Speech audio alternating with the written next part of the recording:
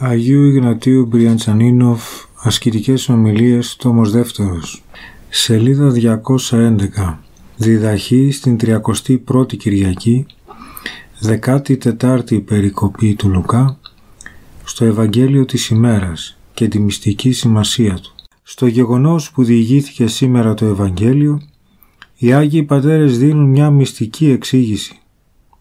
Στο πρόσωπο του τυφλού που με τις επίμονες οικετευτικές κραυγές του τράβηξε την προσοχή και την ευσπλαχνία του Θεανθρώπου, βλέπουν τον αμαρτωλό άνθρωπο που προσεύχεται αδιάλειπτα με κλαθμό και που μέσω αυτής της προσευχής αξιώνεται να λάβει από την Θεία Χάρη την άφεση των αμαρτιών του και την ανακαίνιση της ψυχής του.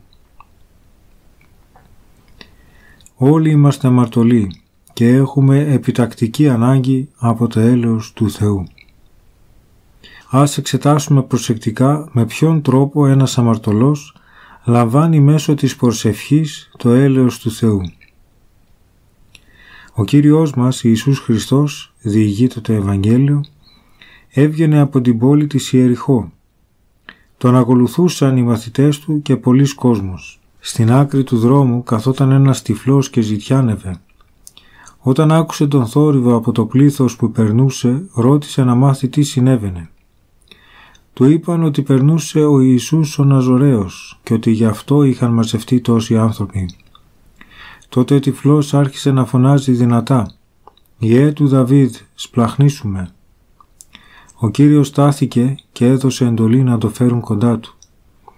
Τον φώναξαν και εκείνος αφού πέταξε το πανοφόρι του, πλησίασε τον Κύριο που το ρώτησε τι θέλεις να σου κάνω; Κύριε, θέλω να αποκτήσω το φως μου, αποκρίθηκε ο τυφλός. Απόκτησε το φως σου, του είπε ο Κύριος και πρόσθεσε, η πίστη σου σέσωσε. Αμέσως ο τυφλός βρήκε το φως του και ακολούθησε τον Ιησού, δοξάζοντας τον Θεό. Όλοι οι αμαρτωλοί πρέπει να αναγνωρίζουν πως είναι πνευματικά τυφλοί. Ναι, είναι τυφλοί η Αγία Γραφή τους αποκαλεί τυφλούς και η ίδια η πράξη αποδεικνύει την τύφλωσή τους. Η αμαρτία έχει τόσο πολύ βλάψει και φθείρει την όραση των αμαρτωλών, ώστε αυτή μπορεί πραγματικά να θεωρηθεί και να ονομαστεί τύφλωση.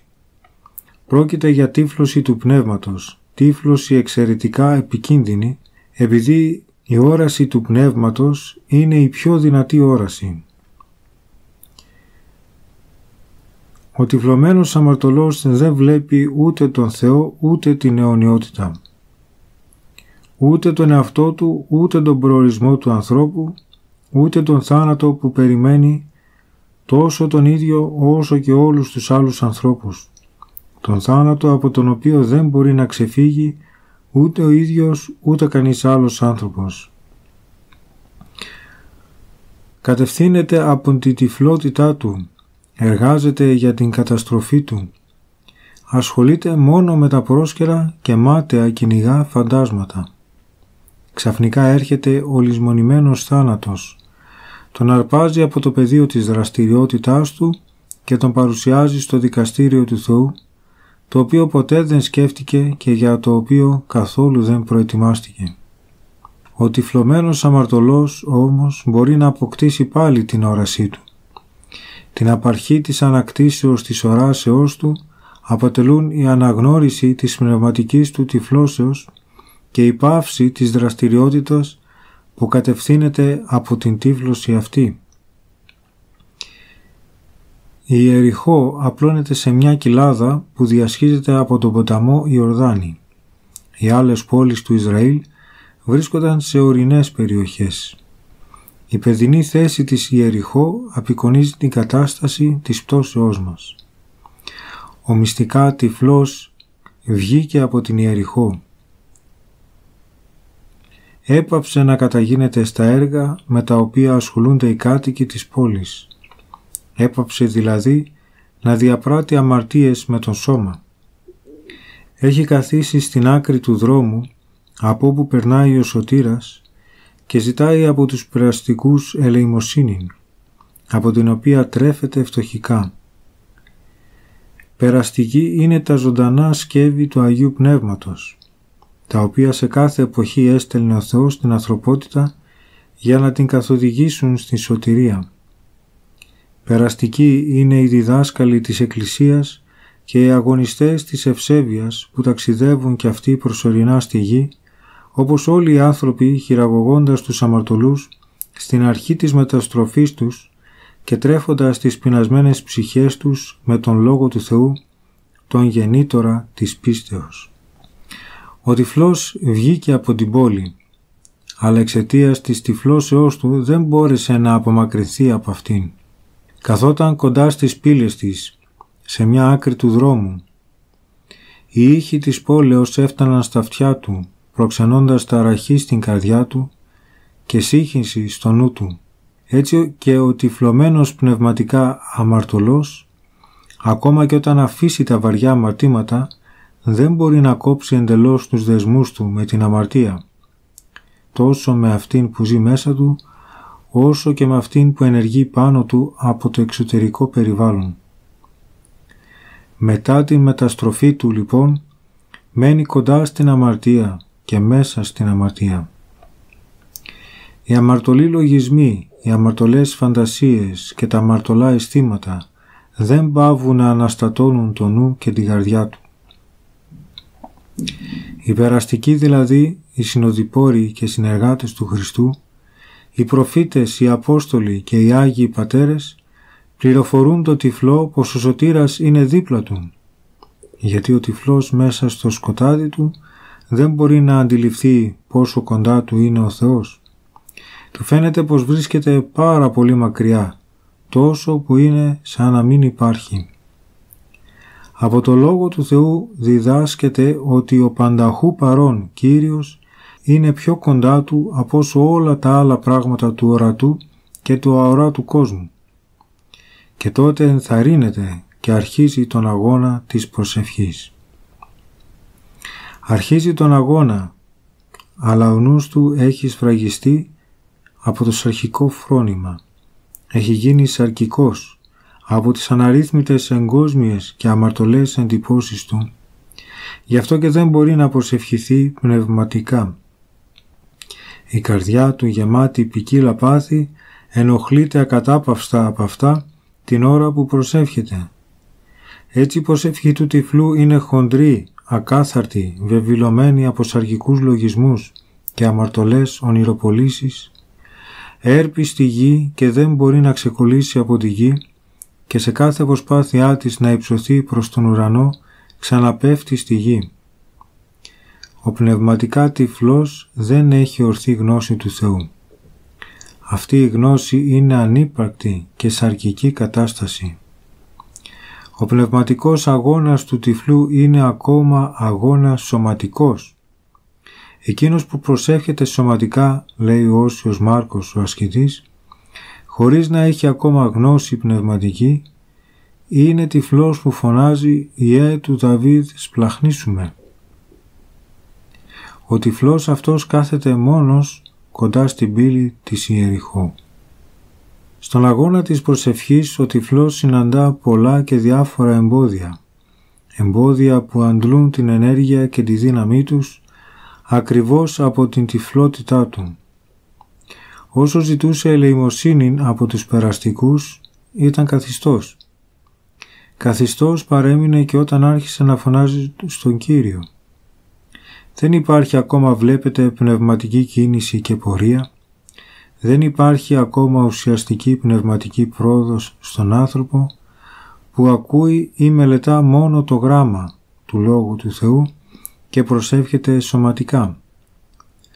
Ο άνθρωπος αυτός συνεχίζει να βρίσκεται κάτω από την επίδραση των αμαρτωλών λογισμών και αισθημάτων. Συνεχίζει να κυριαρχείται από το σαρκικό φρόνημα. Συνεχίζει να είναι στη γη. Αφύσικη και αδύνατη του φαίνεται η πορεία προς τον ουρανό. Αγωνίζεται να προσευχηθεί. Ασκεί βία στον εαυτό του γι' αυτό. Αλλά τον αγώνα της προσευχής τον αισθάνεται σαν ξένο, σαν εχθρό, σαν άσπλαχνο φωνιά. Και πράγματι η προσευχή σκοτώνει, σφάζει τον παλαιό άνθρωπο που ζει μέσα μας, δηλαδή τον παλαιό αμαρτωλό εαυτό μας, ο οποίος φοβάται τη σφαγή, θέλει να την αποφύγει και αντιστέκεται με όλες του τις δυνάμεις. Γύρω από τον τυφλό που αγωνίζεται στέκονται τα πονηρά πνεύματα. Δεν έχουν φύγει από κοντά του γιατί πριν από τη μεταστροφή του, όταν ζούσε αμαρτωλά, είχε υποταχθεί σε αυτά και δεν είχε ακόμα από την άξη τον ζυγό τους. Προσπαθούν να τον κρατήσουν σκλάβο τους, δεν τον αφήνουν να προσευχηθεί, τον απειλούν και τον ταράζουν, κάνουν ό,τι μπορούν για να τον αναγκάσουν να σοπάσει. Τους παίρνουν λογισμούς απιστίας στην αποτελεσματικότητα της προσευχής. Τους παίρνουν λογισμούς απελπισίας θυμίζοντάς του τις αμαρτίες που είχε διαπράξει αναπαριστώντας τες ζωντανά στη φαντασία του και προκαλώντας του νοητά την ευχαρίστηση από αυτές στην ψυχή και στο σώμα. Του κλέβουν την προσευχή φέρνοντας στο νου του διάφορες βιωτικές μέρημνες με τις οποίες πρέπει τάχα να ασχοληθεί αμέσως. Γεμίζουν την καρδιά του με ψυχρότητα και ακιδεία, εξωθώντας τον έτσι στην εγκατάλειψη του αγώνα του. Αγώνα που τον χλεβάζουν σαν άκαρπο και μάταιο, επειδή τρέμουν τα αποτελέσματά του. Ο εργάτης της προσευχής που αγωνίζεται μακριά από τον κόσμο ακούει τις υποβολές των δαιμόνων του Άδη, βλέπει τις αλυσίδες και τη φυλακή τους. Γι' αυτό και λέει ο ψαλμοδός «Άφησες να μας περιπέζουν οι γείτονές μας, να μας κορεδεύουν και να μας κλεβάζουν όσοι είναι γύρω μας.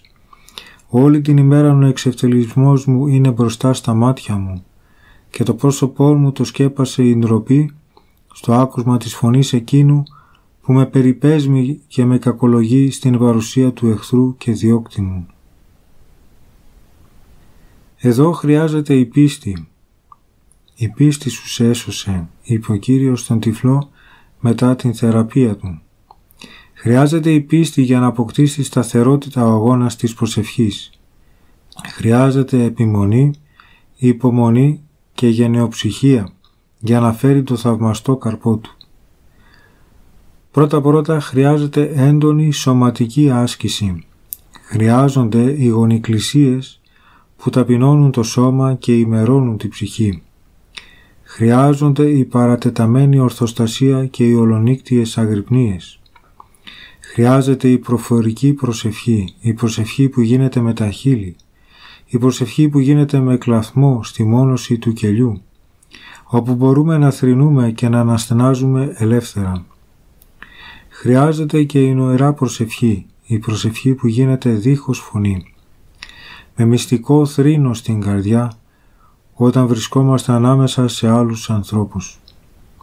Απαγόρευαν στον τυφλό να φωνάζει και αυτός φώναζε με ακόμα μεγαλύτερη φωνή. Τον μάλωναν για να σοπάσει και αυτός φώναζε ακόμα πιο πολύ. Έτσι πρέπει να κάνουμε κι εμείς να ξεπερνάμε και να παραμερίζουμε όλα τα εμπόδια στη προσευχή, να τα καταφρονούμε και να προσευχόμαστε με ακόμα μεγαλύτερο ζήλο. Αν στον πρωινό κανόνα σου η προσοχή του νου σου διασπάστηκε από λογισμούς και ρεμβασμούς, αν έχασες τον αυτοέλεγχο από τη βία των παθών σου, μη χαλαρώσεις τον αγώνα σου. Μη κυριευθείς από απελπισία, μη πέσεις σε ακιδεία. Στάσου στο βραδινό κανόνα σου με ανανεωμένο ζήλο, εντείνοντας την προσοχή σου και μαζεύοντας τις κομπρισμένες σκέψεις σου. Πες στο νου σου ό,τι έλεγε ο αρχηγός των Ισραηλιτών Ιωάβ στον αδελφό και συμπολεμιστή του Αβεσά, λίγο πριν επιτεθούν στους Αμονίτες και τους Σύρους. Δείξε θάρρος, ας φανούμε ισχυροί για τον λαό μας και για τις πόλεις του Θεού μας και ο Κύριος ας κάνει ό,τι του φαίνεται καλό. Στον αγώνα της προσευχής είναι απαραίτητη η παρέτηση από τον εαυτό μας και η αναπόθεση της προόδου μας στην πρόνοια και το θέλημα του Θεού, ο οποίος τον κατάλληλο καιρό, στον καιρό που Αυτός γνωρίζει, θα μας δώσει τη χαρισματική προσευχή. Εμείς δεν έχουμε παρά με τον προσωπικό μας αγώνα να αποδείξουμε έμπρακτα την καλή μας προαίρεση. «Δεν θεωρώ την ψυχή μου σπουδαία», έλεγε ο Απόστολος Παύλος. Σπουδαίο και άξιο της χάριτος του Θεού θεωρούν τον εαυτό τους υπλανημένοι από την υπερηφάνεια και την έπαρση. Αν για ένα χρονικό διάστημα η πρόοδός μας στην προσευχή παρά τη συνεχή ενασχόλησή μας με αυτήν είναι μηδαμινή, τότε ας ασκήσουμε στον εαυτό μας τη μεγαλύτερη δυνατή βία, ώστε να προοδεύσουμε και να καρποφορήσουμε. Και αν πέρασαν δέκα χρόνια και αν πέρασαν δεκάδες χρόνια, χωρίς να δούμε ακόμα επιθυμητό καρπό από την προσευχή, ας προσπαθούμε τουλάχιστον να μένουμε πιστοί στον αγώνα για τον υπόλοιπο χρόνο της ζωής μας. Και μόνο με τον αγώνα που κάνουμε, ο θησαυρός που αποκτούμε είναι αιώνιος και ανεκτήμητος. Είναι εύλογο που η Θεία Πρόνοια επιτρέπει να καταβάλουμε έναν κόπο, ο οποίος έστω και λίγο αντιστοιχεί, και πράγματι πολύ λίγο αντιστοιχεί, στην αξία του τελικού αποκτήματός μας. Η κύρια προϋπόθεση της προόδου είναι η επιτέλεση της προσευχής με την πιο μεγάλη ευλάβεια και προσοχή. Γι' αυτό είναι απαραίτητη όχι μόνο η εγκατάλειψη της αμαρτωλής ζωής, αλλά και η απομάκρυση από την ιεριχώ, δηλαδή η απόρριψη όλων των μεριμνών την ώρα της προσευχής. Την απόρριψη των μεριμνών την κατορθώνουμε όταν αναθέτουμε τα πάντα στον Κύριο με εμπιστοσύνη στην πρόνοιά Του. Σε αυτή την ανάθεση μας καλεί συχνά η Αγία Εκκλησία μας με τη λειτουργική προτροπή. Εαυτούς και αλλήλους και πάσαν τη ζωή ημών Χριστό το Θεό παραθόμεθα. Στην προσεκτική προσευχή συμβάλλει η μνήμη της πανταχού παρουσίας και της παντογνωσίας του Θεού. Αν ο Θεός είναι παρόν σε κάθε τόπο, τότε είναι παρόν και στον τόπο όπου προσευχόμαστε. Αν ο Θεός γνωρίζει τα πάντα, τότε γνωρίζει και τη διάθεση της καρδιάς μας και τις σκέψεις του νου μας. Όταν στεκόμαστε σε προσευχή, στεκόμαστε μπροστά στο Θεό, στεκόμαστε μπροστά στο δικαστήριο του Θεού. Μπορούμε να εξηλώσουμε τον κριτή, τον οποίον έχουμε απέναντί μας, με την κραυγή και το στεναγμό της προσευχής. Η μνήμη του θανάτου που η ώρα του είναι άγνωστη δίνει ξεχωριστή θέρμη στην προσευχή. Καθόλου δεν θα σπάλουμε αν κάθε φορά που προσευχόμαστε πιστεύουμε πως είναι η τελευταία ώρα της ζωής μας, η ώρα του τέλους μας. Όταν ο νους είναι προσιλωμένος στον Θεό, παρασύρει και την καρδιά που εκφράζει τη συμμετοχή της στην προσευχή με το αίσθημα της μετάνοιας εύκολα θα φτάσουμε στην κατάσταση της προσεκτικής και απερίσπαστης προσευχής αν όπως διδάσκουν οι Άγιοι Πατέρες προσευχόμαστε χωρίς βιασύνη, κλείνοντας το νου στα λόγια της προσευχής, έτσι ώστε να μην ξεφεύγει από την προσοχή μας ούτε μία λέξη. Η λέξη που ξεφεύγει είναι λέξη χαμένη. Η προσευχή που ξεφεύγει από την προσοχή είναι προσευχή χαμένη. Ο νους που δεν έχει εθιστεί στην προσοχή με πολύ κόπο θα την αποκτήσει. Η δυσκολία αυτή ωστόσο δεν πρέπει να προξενεί ακιδεία και ταραχή στον αγωνιστή της προσευχής. Το άστατο, λέει ο Όσιος Ιωάννης ο Συναήτης, είναι χαρακτηριστικό του νου του πεσμένου ανθρώπου, του νου που έχει διαφθαρεί από την αμαρτία και προσθέτει αν η σκέψη σου λόγω της νηπιακής πνευματικής σου καταστάσεως ατονίσει και ξεφύγει από την προσευχή, σημάζεψέ την πάλι. Αν αγωνίζεσαι έτσι συνεχώς, θα έρθει και σε σένα εκείνος, ο Θεός, που βάζει όρια στη θάλασσα του νου και θα της πει την ώρα της προσευχής σου. Ως εδώ θα έρχεσαι, δεν θα πηγαίνεις πιο πέρα. Είναι αδύνατο να δεθεί ένα πνεύμα όπως ο νους. Όπου όμως παρουσιαστεί ο κτίστης του πνεύματος, τα πάντα υποτάσσονται.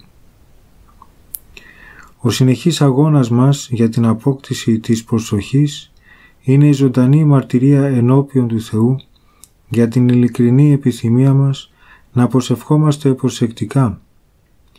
Επειδή όμως ο άνθρωπος δεν μπορεί να δέσει το πνεύμα του μόνος του, χρειάζεται η έλευση και η ενέργεια του Παναγίου Πνεύματος, εκείνο που είναι ο πλάστης και δεσπότης του δικού μας πνεύματος. Το πνεύμα είναι ο απεσταλμένος του Ιού του Θεού προς τον καθισμένο τυφλό, που επικαλείται με φωνές τον Κύριο. Αυτός ο απεσταλμένος καλεί τον τυφλό στον Ιησού. Το Πνεύμα του Θεού οδηγεί στον Υιόν του Θεού. Το Πνεύμα όταν επισκεφτεί τον υπηρέτη του Χριστού, του μαθαίνει όλη την αλήθεια. Του μαθαίνει και την προσεκτική προσευχή. Η προσοχή του νου κατά την προσευχή είναι η προσήλωσή του στην αλήθεια, είναι η σωστή κατάστασή του. Ο περισπασμός απέναντίας είναι κατάσταση αυταπάτης και πλάνης, κατάσταση χαρακτηριστική του νου που παρασύρεται από το ψεύδος με λογισμούς και φαντασίες. Οι λογισμοί και οι φαντασίες παίρνονται στο νου από τους δαίμονες και βλαστάνουν από την άρρωστη, την αμαρτωλή μεταπτωτική φύση μας. Η κατάσταση της έντονης και αδιάπτωτης προσοχής στην προσευχή δημιουργείται με την έλευση και την επενέργεια της Θείας Χάριτος στο πνεύμα μας. Η καταχάρη προσοχή είναι η πρώτη πνευματική δωρεά του Θεού στον προσευχόμενο.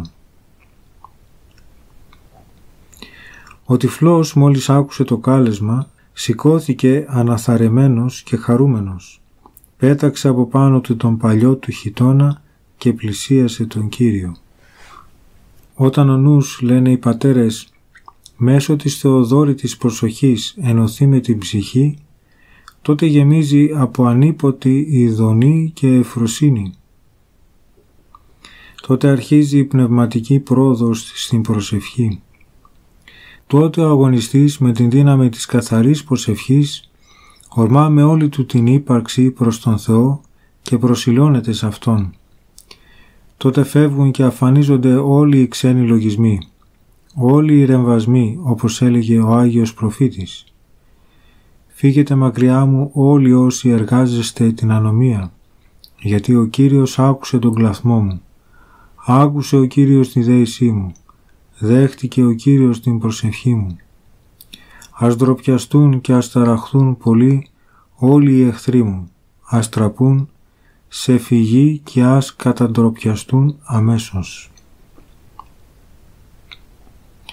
Ο τυφλός πέταξε το παλιό του χιτώνα, δηλαδή εγκατέλειψε τους πολλούς και διάφορους τρόπους προσευχής, αντικαθιστώντας τους με έναν, την προσευχή μέσα στο μυστικό θάλαμο της καρδιάς.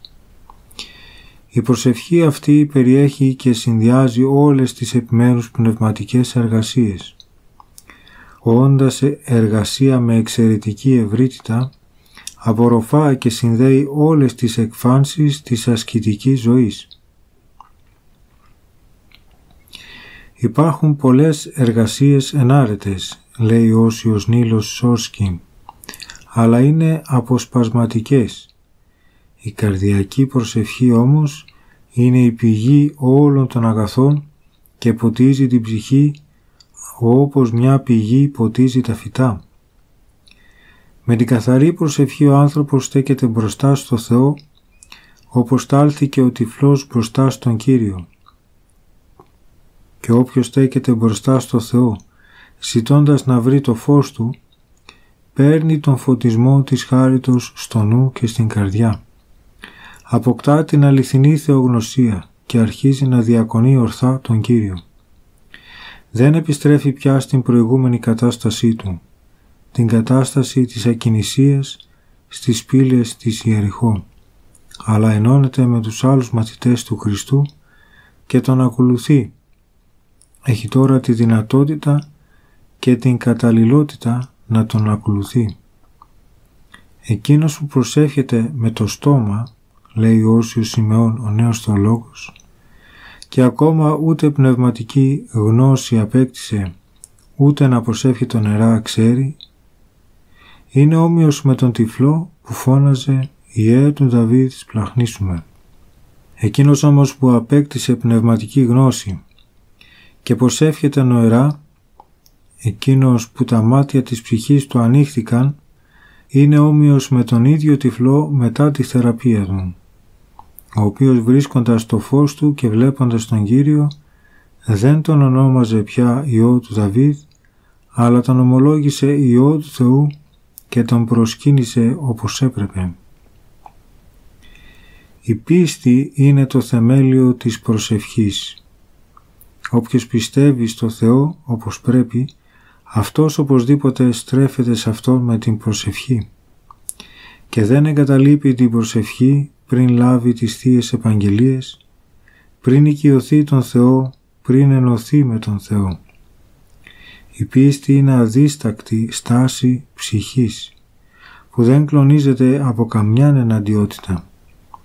Πιστός είναι όχι εκείνος που έχει τη γνώμη ότι όλα είναι δυνατά στον Θεό, αλλά εκείνος που πιστεύει ότι θα λάβει όλα όσα του ζητάει. Η πίστη είναι η μητέρα της ησυχίας και του κελού και της καρδιάς. Όποιος πιστεύει ότι ο Θεός προνοεί άγρυπνα γι' αυτόν, αποθέτει όλη του την ελπίδα στην πρόνοια εκείνου. Αυτή η ελπίδα γαλινεύει την καρδιά του. Με αυτή την ελπίδα απομακρύνει όλες τις μέρημνες και παραδίνεται ολόψυχα στη μελέτη του Θείου Θελήματος, το οποίο έχει αποκαλυφθεί στην ανθρωπότητα μέσα στην Αγία Γραφή και αποκαλύπτεται ακόμα περισσότερο με τον αγώνα της προσευχής. Έχοντας πίστη στο Θεό, ο αγωνιστής ξεπερνά με ανεξάντλητη υπομονή όλα τα εμπόδια που του βάζουν η πεσμένη του φύση και τα πονηρά πνεύματα, για να διακόψουν την προσευχή του, για να τους στερήσουν, αν είναι δυνατόν, αυτό το μέσο κοινωνίας με τον Θεό. Γι' αυτό και λέει ο ψαλμοδός «Πολλές φορές με πολέμησαν από τα νιάτα μου και όμως δεν με λύγησαν. Δολοπλοκούσαν πίσω από την πλάτη μου η αμαρτωλή. Κράτησε για πολύ η ανομία τους. Αλλά εγώ ενισχυμένος και καθοδηγημένος από την πίστη σήκωσα τα μάτια μου σε σένα Κύριε που κατοικείς στον ουρανό. Όπως των δούλων τα μάτια είναι καρφωμένα στα χέρια των κυρίων τους και τις δούλεις τα μάτια στα χέρια της κυρίας της. Να, έτσι είναι και τα δικά μας τα μάτια καρφωμένα στον Κύριο, τον Θεό μας, ώσπου να μας πλαχνιστεί. Αμήν. Τέλος της διδαχής της 31ης Κυριακής, 14ης Περικοπής Λουκά, στο Ευαγγέλιο της ημέρας και τη μυστική σημασία του.